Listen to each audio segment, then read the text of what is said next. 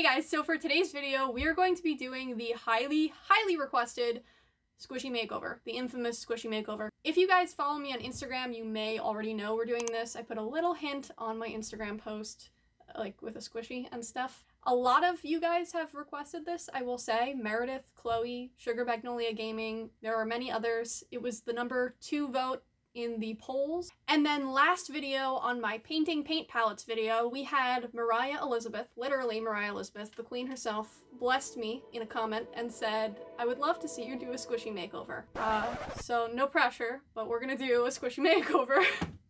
I don't know what I'm doing. I've never done this before, so please everyone be nice to me. I am just trying my best, and we're gonna do the squishy makeover. Let's... Let's do it. I'm not nervous. Nope. Okay, so I started off my first ever squishy makeover with this guy. I guess I think it's like a wolf or a cat or a dog. I don't know. And then this orange thing with that horrid face on it. Just ripping out those keychain things to begin with. And the reason I started off with this is because, I don't know, I just like the shapes of them, honestly. I thought it looked funny if I put the head on top of that like orange bouncy ball thing. I'm not going to tell you what I'm making yet because I want to see if you guys can guess. But yeah, so I sanded it down, put the fabric glue. I'm using tacky glue, which is like fabric glue. Um, oh, don't look. Don't look. Ugh. Okay, so we had to cut that guy's eye off so that the head would fit flat on this round ball. Yeah, glued that down and secured it with a rubber band, let it dry for a while. I don't know how long. Uh, I don't know. Okay, yep, that looks painful. okay, once that dried, then I decided to take this dog and cut off its ears and use it as arms because I think that these are like the funniest shape kind of arms you can possibly put on a character. I always love these kinds of arms. Glued those on and rubber banded him in. He looks like he's about to go in a straitjacket right now. Ugh, the poor guy. I hate watching these. Ugh, looks painful. Terrible. Uh, then I took a random tooth and I cut that off and made it its tail. And I don't know if you can tell what he is yet. You probably can't. Uh, after that dried, uh, yep, we have the tail on. He is secure. I then made it all even and filled in the holes with some fabric paint because I watched Moriah Elizabeth do this. I know she used puffy paint for it, but I didn't get that until like three days into this, so that is slick paint, which is not correct technically. Alright, so now I'm cutting off its ears. Yep, that looks painful, but we're doing it because I don't know if you can tell what he is yet. I don't I feel like you probably can't tell what he is, but he, it's coming. Okay, so now we've uh, green. So it's I'll just give it it's a turtle. It's going to be a turtle, a sea turtle. Uh yeah. So I am painting with my fingers, you'll notice. Um, and that is because I gave away probably two or three paintbrushes to the cause, and I said, no more. No more. I will not destroy any more of my paintbrushes. Look at his face! Look at his face! Uh, he's adorable! Look, look at him! Ah! He's so cute! This is like my favorite one. I'm giving it away. Just the first one is my favorite one. I just absolutely love this one. Uh, so yeah, I was painting with my fingers because I found it gave a smoother finish for me and also it didn't ruin my paintbrush. I used the paintbrush towards the end when I was doing like the final touches, but at the beginning of these squishy makeovers, I was using my fingers, finger painting. Uh, so you can see here I'm putting like a lighter green, like a neon green on the top and then a blue in the middle. I was trying to create like a ombre effect on this turtle man. And there I am doing the turtle shell. And here, I added the shell and did not tape it. I apologize. I am a horrible YouTuber. I missed it. I don't know. I don't know what else to tell you. He has a shell now. It was just circle shapes on the back in chunky form. And then, um, what am I doing here? Oh, see, I'm filling in the the back of his like fins. I'm making it a lighter green and putting a texture. Okay, so now that that is all finished, the only thing that was left to be done was the sides. Yes, the sides. Yeah, we had to do those. And then the belly, which is my favorite part because it's ridiculous. He is literally a ball, and I filled it in with yellow. I think this looks so funny. It just makes me laugh so hard when I look at him. He's just adorable. Look at his look at his body. Like it's just the weirdest shape. His stance alone just kills me every time I look at him. His stance is just ridiculous. And I gave him three little freckles on each of his fins uh, which I think looks so cute. And now we're moving on and we're going to put his eyes on, which gives him all of his character, you know? It gives everything. Everything about him is defined when you put the eyes on. Ready? Suddenly he comes to life. Oh! Oh, he's so cute. Oh, get out. Get out. No, look at his little mouth. Look at his mouth. Oh! Look, he's so cute. This and I've decided to name this turtle Seaford because he's a he's a sea turtle. Okay, so we went from this weird ball and this fox and this random tooth to Seaford our very, very adorable friend, who is not, maybe not artistically technically correct, but he's the best I could do, and he was my first squishy makeover. So I want everyone in the room to stand up and put their hands together for Seaford.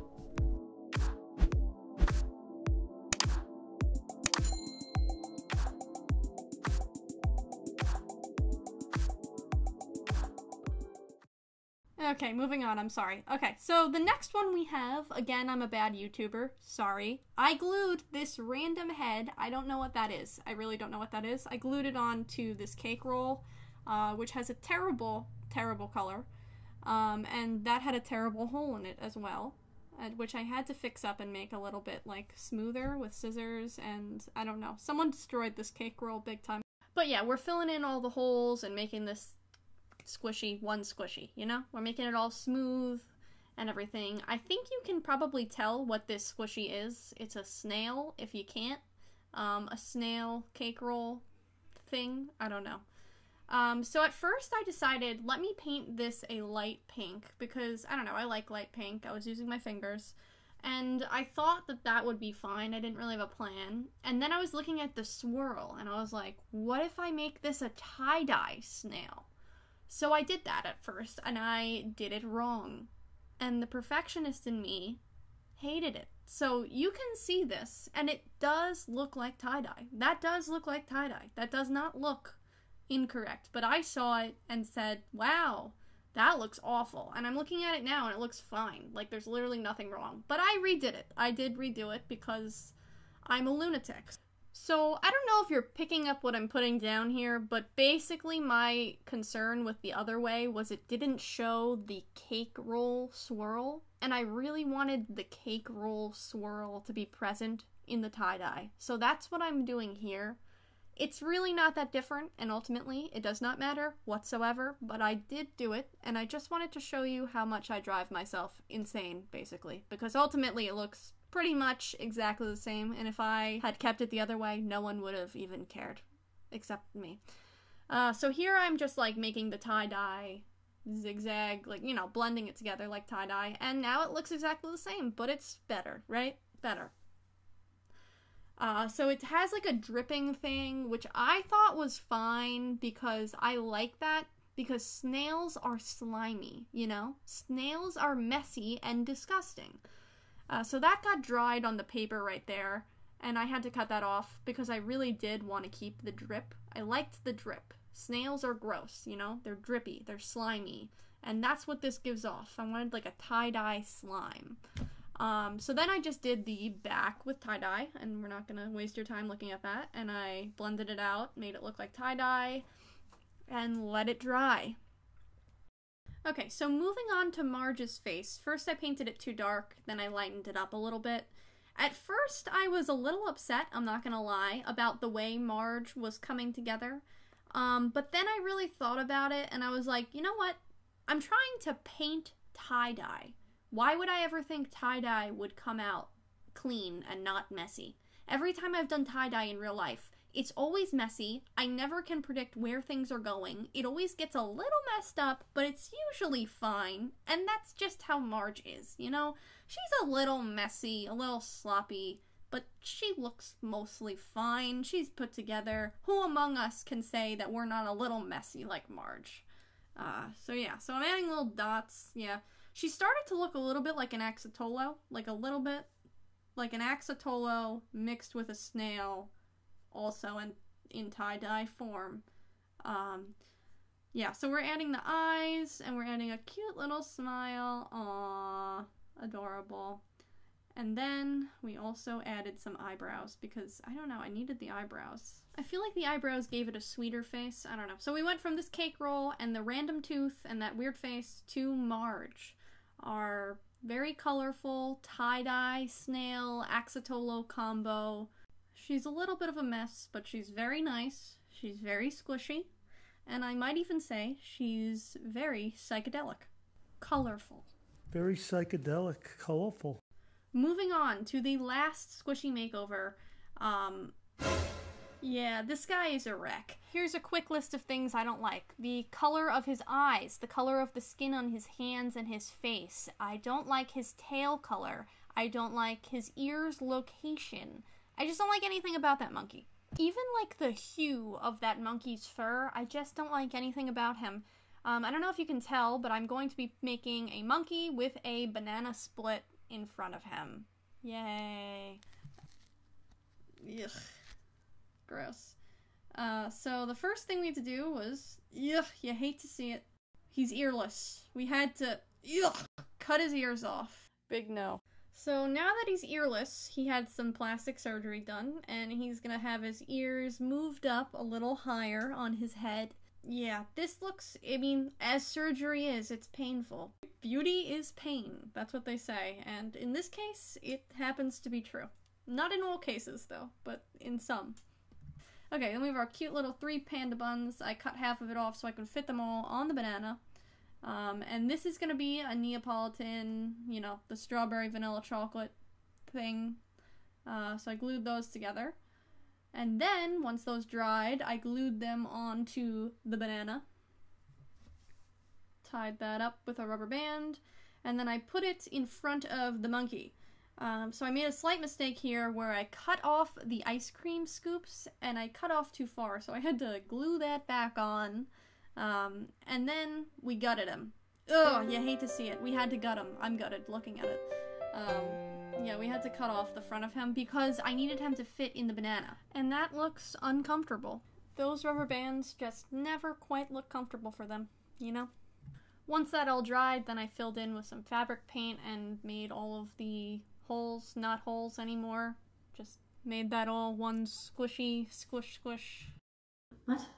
Okay, next up we did the initial paint coats. I was again painting with my fingers. I found that if I painted with a darker coat of paint to begin with, it was easier to cover up the spots. So that's why everything's so dark there. I do go back in and lighten everything up after the fact. And now we're moving on to the face with a light brown. I could see the outline of this, so this was a little bit easier to do. I don't know if you guys can tell, you probably can. I'm doing this monkey in the style of Moriah Elizabeth. I know usually she likes to do animals with dessert themes, so that is what I am doing. Moving on to the ice cream, which was actually my favorite part of this monkey thing. Uh, so the Neapolitan, we got strawberry vanilla chocolate, and I made it like thick and chunky to kind of make it look like it was like melted and textured, and I feel like it ended up looking kind of like real ice cream, which I was really happy with. And yeah, that's the ice cream. And I filled in the tail, put a little dot on the nose with a light brown. I added like a sweet little smile. I don't know. I like the smile. And then I messed up the eyes, we'll be honest. I was trying to do like a flirty eye where they're like so in love with the ice cream, but it didn't work out. They looked mad, so I changed it to just the round eyes, which I think looked better in the end. And since we are doing this in the style of Moriah Elizabeth, there's a couple of key things we need. We need some chocolate sauce, we need some glimmers in the eyes. I realized after the fact that I probably should have made those pupils a light brown, like the same color as the nose and the mouth, because that's what Moriah likes to do. She usually does like a muted thing thing, uh, but that's okay. And then I made some drips on the ice cream to kind of make it look like a melted look. I know Moriah likes to do drips a lot of the times, so that's why I added that. I also added some hot fudge and melted whipped cream to the top of the head, and of course, we can't forget the sprinkles.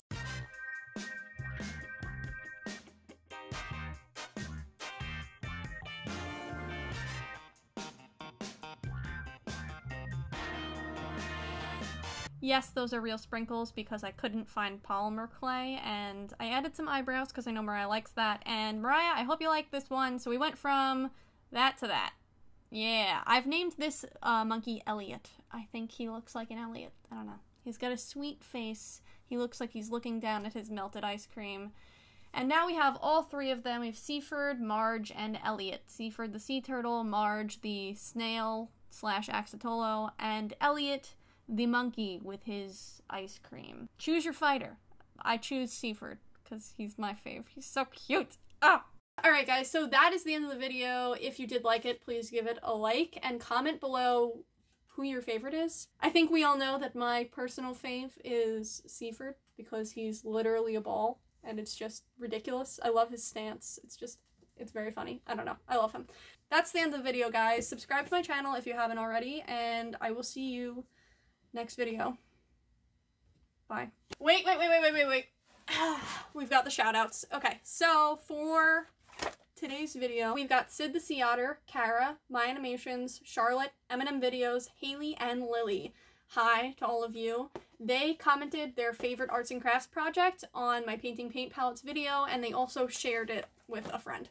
Um, if you... Mm, okay, so if you guys would like a shout out in my next video, follow the directions that are in the description of this video. That's how you can get a shout out in my next video. And I will see you guys next video.